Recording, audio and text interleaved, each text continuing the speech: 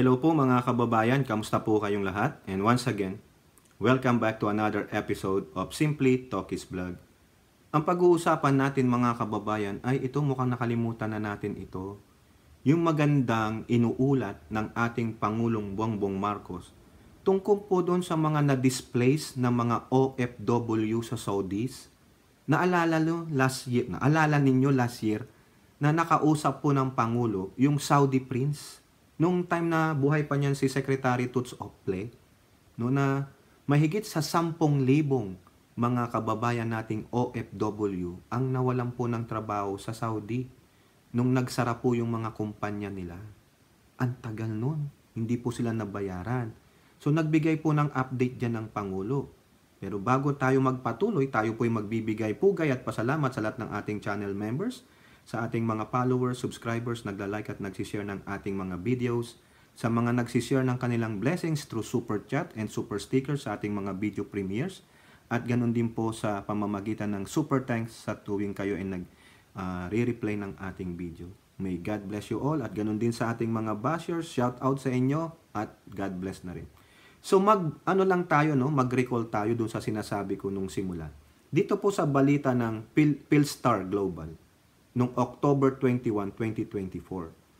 Back wages assured for over 10,000 displaced Saudi OFW. So, tingnan niyo po yung larawan na yan, oh. O, di ba? Ayan po, no, nagkausap po si Pangulong BBM at si Crown Prince Mohammed bin Salman Al Saud ng Saudi. Ha? Ito po ay sa do sa sidelines nila nung meeting nila sa ASEAN GCC Summit sa Riyadh, Saudi Arabia. O anong sabi ng Pangulo during that time? It's already in process. O, said Marcos in Filipino in a, report, in a report shared by PCO office. No? We are already coming to the point that we're already talking about the details the list of claimants that had been cleaned, that's already taken care of. And we are just waiting for the details to be worked on worked out between the Saudi side. The chief executive's statement came after being asked to provide updates on what the Philippine government is doing to ensure the settlement of said unpaid wages. Oh. Yung sabi po ng DMW, yung Department of Migrant Workers, last January said that the Kingdom of Saudi Arabia asked more time in paying for the said amount. So during nung January of 2023, nanghingi pa ng karagdagang oras ang Saudi para siguro pag-aralan magkano ang dapat na isang tabi na salapi para dito po sa ating mga kababayang modern heroes na OFW no, na displaced po. Nagsara po yung kumpanya nila eh. No?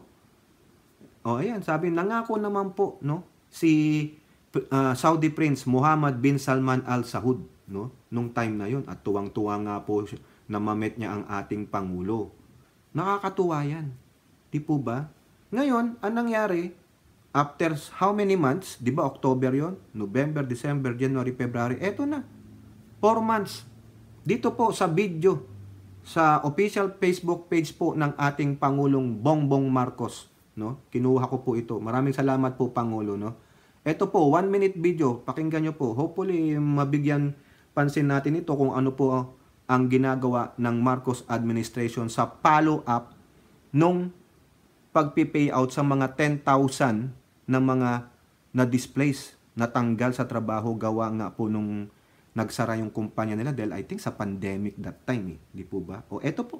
Uh, iskulang balitaan ang ating mga OFW na nagaling sa Saudi na patuloy na ang pagbayad ng insurance ng Saudi Arabia sa mga empleyado ng mga kumpanyang na bangkarote nag-file ng claim sa sa insurance. Nakaprocess na ang Overseas Filipino Bank at Land Bank ng 1,104 Alinma Bank indemnity check, yung Alinma Bank yung ginagamit sa Saudi Arabia. Ang halaga ng mga na-release na na cheque is 868 million 740,544 in pesos na na-release na. 1,104 ang na-clear na at credited. Yung 843 doon nabayaran na. Patuloy nga ang uh, pangako ng Crown Prince ng Saudi Arabia, ang pangako niya sa atin na ibabayad nila yung insurance claims. Kaya uh, magandang balita ito para sa ating mga OFW sa Saudi.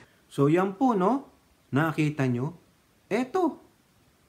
Ewan ko kung siguro mangilan-ngilan ang nagbalita nito. Ito na nalagpasan ko. Napakaganda niyan. So, yung sinasabi ng mga Duterte na walang pagmamahal ang Pangulong ito, walang aspiration, tamad, at walang compassion, ay ano yan? 'Di ba? Akala nyo siguro, nung time na lang na yun na nakipag-usap siya sa Prince ng Saudi na si Prince Mohammed eh, ano lang, tokis-tokis lang, parang tayo lang. Tokis-tokis. Hindi eh. Talagang tinatrabaho.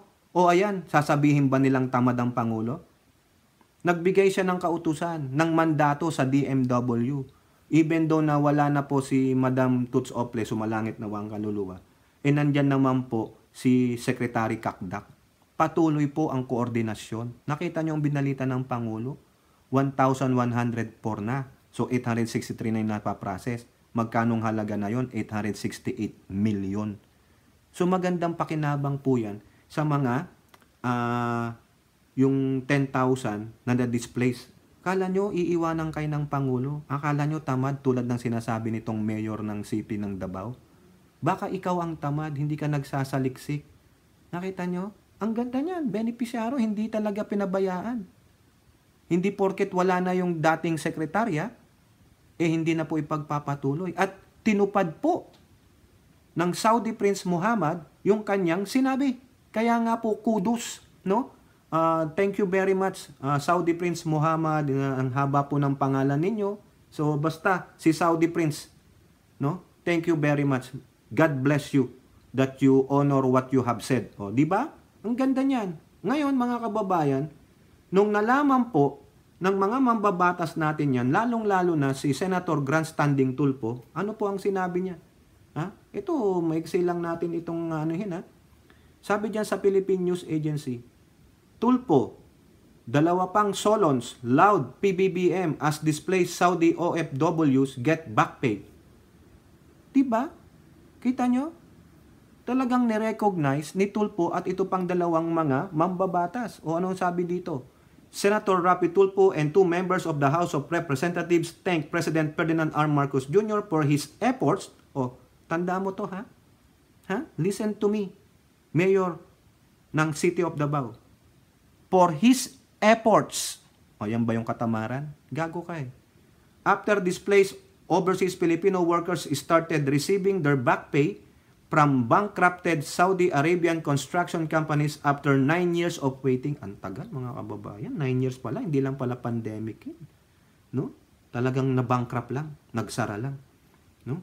Pasalamat din tayo sa Saudi Prince dahil inasikaso niya at sa Saudi government. At talagang kinikilala nila, no? Nakakaawa naman. At least meron silang compassion sa atin. Di po ba? Kakaawa eh, malay nyo, yung mga yun, no, biro nyo, 9 years. Paano kung nakapagsanla na yung mga, paano na mabayaran, ma, ma, maibalik yung mga sinanlasan nila? Eh baka wala na yung iba. Di ba? Last Tuesday, President Marcos announced the processing of a total of 1,104 indemnity checks from Al Alinma Bank amounting to 868.74 million pesos through the Overseas Filipino Bank and Land Bank. About 843 checks have already been sorted out and distributed. O, tingnan nyo. Ang dami. In a statement, Tulpo acknowledged President Marcos' dedication, kita nyo, the word efforts and dedication. Di ba? Ano pa ang gusto nyong makitang mga adjectives na magaganda na ibinibigay ng mga mambabatas at kumikilala sa kakayahan ng Pangulong ito na gampanan ang kanyang trabaho? 'Di ba? Pero iyan po ang hindi nakikita nung dalawang magkapatid na Duterteng mga kupal. Di po ba? Biruin nyo, yung matandang kapatid na si Pulong, yung may 51 billion, sinabihan daw yung speech ng Pangulo ay pangbaliw-baliw lang daw. O sinong baliw ngayon? Di ba kayo? Wala kayong pangribatal, no?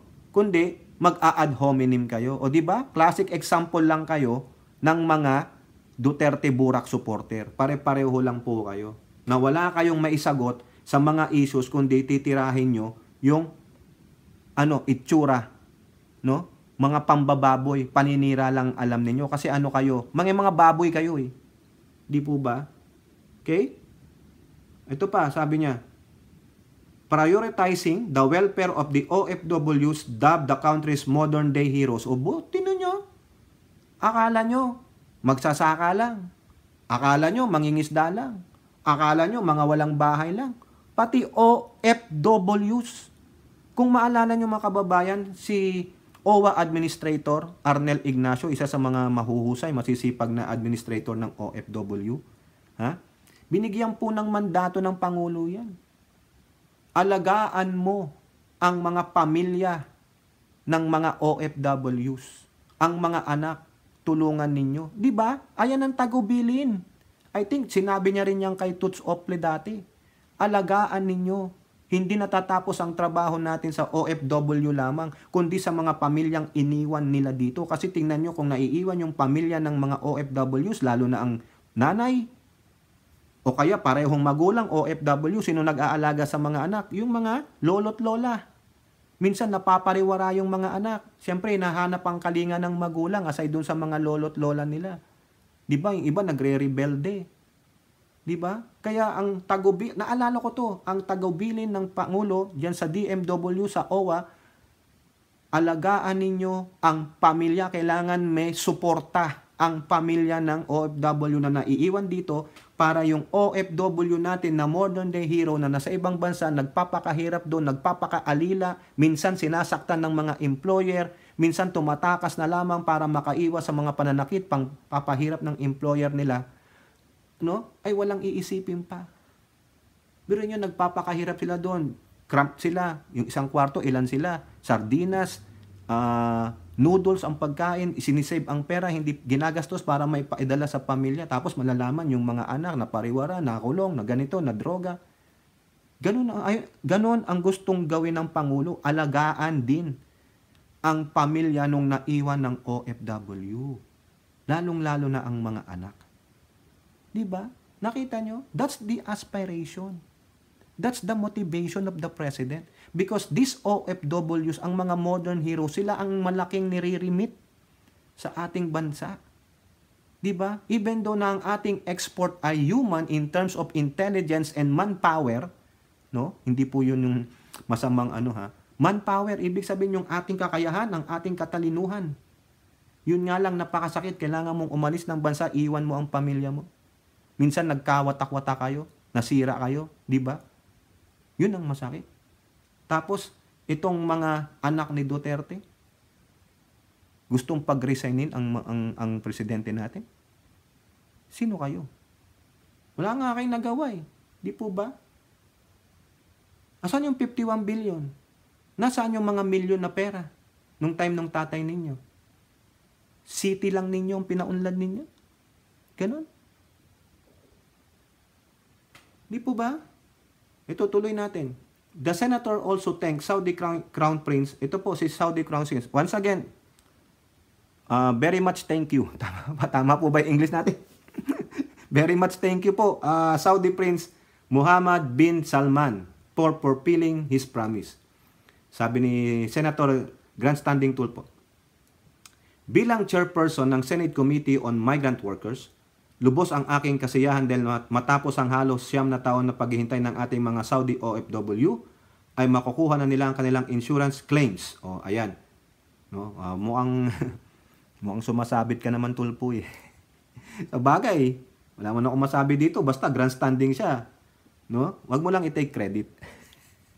Sumabit ka na lang. Wag ka nang makipag-take credit kasi siya rin naman ang sa Committee on Migrant Workers. So, ayan ang advocacy niya. Isa sa advocacy niya, So nakita niyang maganda ang ginawa ng Pangulo and he's thankful with the President. Also, give credit to whom it is due. O, binibigay niya ang credit sa ating Pangulo. Di ba?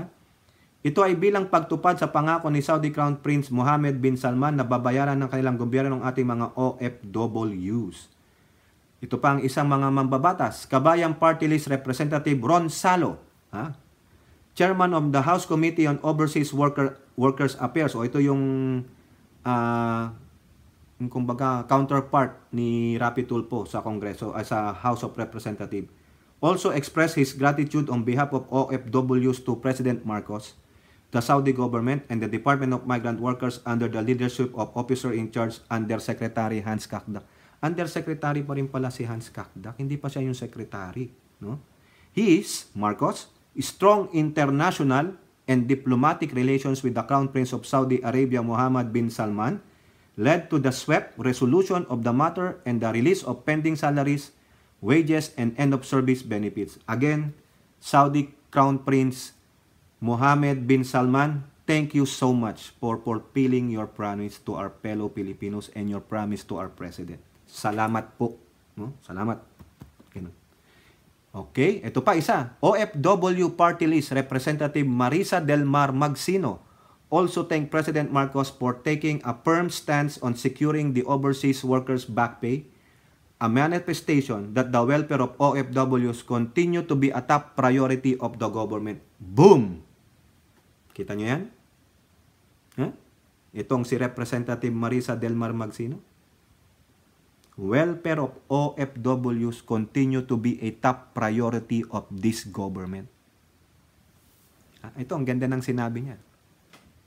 Sa pananindigan at katapatan, makinig ka, Mayor ng Davao City Kupal, ng ating Pangulong Marcos, tayo'y panatag na magsusumikapan ng ating pamalan na maging good news na ang pagbigay ng claims para sa lahat ng naapektuhang OFWs la, sa lalong madaling panahon. O, tama. Correct. No? Ito lang yung nasa baba, ito lang yung ano, yung mga meeting nila ng pangulo at ni Saudi Crown Prince Mohammed bin Salman, ha? Saudi Prince Mohammed bin Salman in November 2022 pledged to set aside 2 billion riyals for displaced OFWs. Nearly 13,000 OFWs were laid off when Saudi Ogre Limited, Muhammad Al Mujil Group, and other construction firms in Saudi Arabia went bankrupt according to data from the DMW. The DMB record shows 8,829 claimants from Saudi Ogre and 3,454 from Muhammad Al Mujil o dalawang company nga. So that will be 11 more than 11,000. So hopefully, no, tuloy-tuloy. Next, ito naman ang latest update pati, no? Kung nagpapasalamat yung ating mga mambabatas diyan sa partial na ha, partial pero ongoing payment, no? Tingnan nyo nga naman, talagang saludo tayo. In honor ng Saudi Prince ang pinag-usapan nila ni Mohammed bin Salman at ng Pangulo. No? Eto, another one. Philippine News Agency.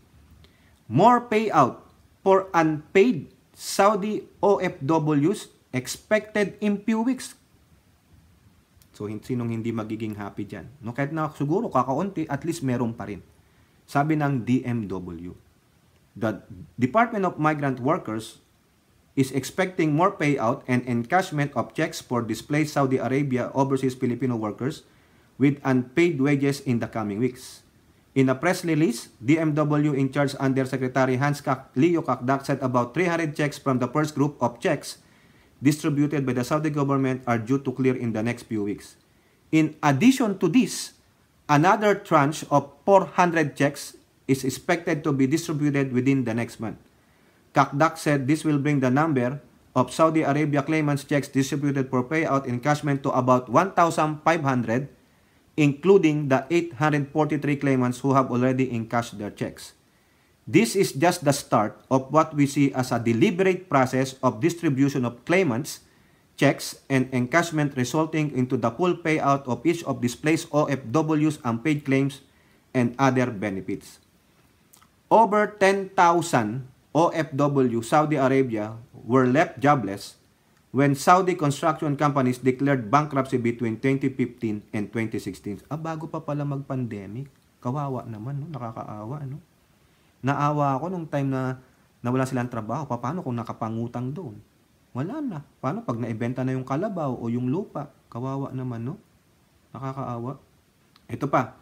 However, Kakdak said more needs to be done to help the claimants receive what is due them.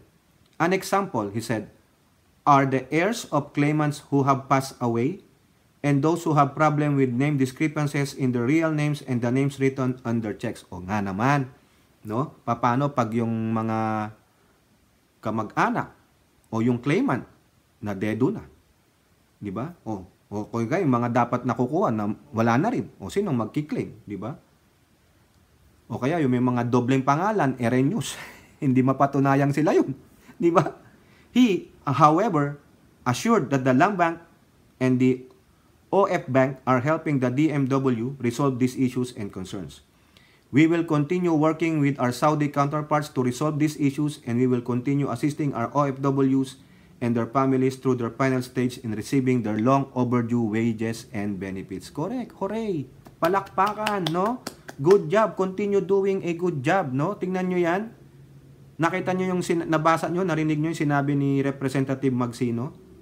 Sa katapatan, no? Ang pagmamahal ng pangulo sa mga OFWs. O tapos sasabihin mag-resign. Kayo ang mag-resign. Anong klaseng pag-iisip 'yan, sabi nga nila. 'Di ba? Yung po no, napakaganda po niyan mga kababayan. Dito lang po sa Facebook page ng Pangulo, ang daming magaganda dito. Hindi ko naman po pwedeng isama yung merong copyright. Mahirap na po tayong makopyright mga kababayan, no? Hinahanap ko pa po yung mga magagandang mga day-to-day ng Pangulo, no? Eh, ito po naman, no? Ito lang, sinabi niya lang dito kay Prince, Cha- okay, King Charles na, hindi na Prince, Prince Charles. Si, si King Charles po, no? ng Inglaterra, eh meron pong cancer, no? Kaya sabi ng Pangulo at ni First Lady, PBBM praise for King Charles with swift full recovery from cancer. Eh, ganun din po tayo, no? Atin pong alyansa ang ang Inglaterra, no? Ma- Malaki naman po ang ating ano diyan pakinabang sa Inglaterra. Marami pong mga Pilipino diyan diyan sa bansang Inglaterra. Ipagdasal po natin ang hari ng Inglaterra at ang kanyang pamilya, no? Na sana makarecover po si King Charles, no? Oh, kasama niyo po kami. Ah, kayo pong mga Britons, no? Kasama niyo po ang Filipino nation with our president and the first lady praying for the full recovery of your king, King Charles. Okay? At ano pa ang sabi ng pangulo, no? Doon po sa mga walang relationship, mga walang jowa sa Valentine's Day, o di ba? Elora, ay Chang, penging fortune cookie. Ano ang sabi ng Pangulo? Love yourself. o nakita nyo, di ba? May video pa ang Pangulo. Nag-dumbbells, nag-exercise yan. O? O. Ang sabi dito, PBBM to a bagong Pilipino, celebrate self-love on Valentine's Day. Yun po mga walang jowa.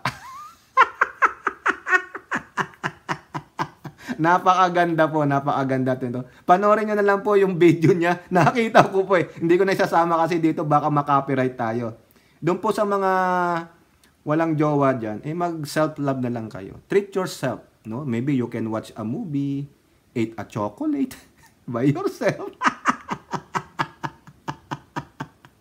o di kaya samahan nyo si Senatora Tambilina. Di ba nakapicture pa siya ng Cupido? Wala daw siyang love. O kayo-kayo magsama. di ba? Doon naman po sa mga may mga kajowa na, eh, mahalin nyo ang inyong mga kajowa, ang inyong mga asawa. No? Kasi, lalo na doon sa mga may asawa, no? mahalin nyo ang asawa ninyo. Pray together that God will ano, uh, strengthen your marriage life. No? Up and downs through thick and thin and through better or for worse nga. Di ba? Mahalin nyo. No? Huwag na kayong kumapit-kapit pa sa iba. Di ba? Kayo naman. Yun lang po. Ah, no, ik- ika nga nila, sabi natin palagi, God is love. Love is God. If you know how to love, you know God. Pero wag naman sobra-sobra. Baka damihan nyo. Love 1, love 2, love 3, love 4. wag. Iba yung sinasabi nating love. No? It is the love from God. Sabi ng God, mahalin mo ang asawa mo through better or for worse. Ganon. Pag may jowa ka naman, make sure na you work it out. Ganyan. Ay, hindi po ako love expert. Baka, ano, baka, baka, kung ano, baka mangingi kayo ng advice. Uy, magbasa na lang kayo ng Bible. Hindi po ba? Basahin nyo na lang yung Bible. No? Eh, kahit pa paano, eh, matakot naman po kayo sa Diyos kung naniniwala po kayo sa Diyos. No? Uh, lahat naman ng hindi pagkakaunawaan, eh, ano yan? Ano tawag doon yung may, may, may, may solusyon sa bawat problema. No? Better yet, ilagay nyo muna ang Diyos sa gitna ninyo. sa inyong buhay, di ba? God first, sabi nga ni, ni Isko Moreno. God first, o di ba? Thank you Lord for this day, no? Sana po, yan po mga kababayan, ano? God bless po sa inyong lahat at napakaganda po ng balita na ito na ginawa ng ating Pangulo. So yung mga nagsasabing mag-resign ka na lang dahil wala kang love, wala kang compassion, tamad ka, wala kang aspiration, ginagamit mo lang ang People's Initiative o Chacha para magtagal ka sa pwesto, sasabihin ko lang, who are you? Kasi kayo ang mga gamol, mga gahaman sa pwesto. Gusto nyong pagtakpan yung mga issue sa inyo para ano patuloy ang pagkagamol ninyo sa ka- kaba ng bayan, ganun ba? Oh. Kayo po, ano pong inyong masasabi? Comment down below. And don't forget to like and share. Hope to see you on our next videos. Bye-bye. God bless.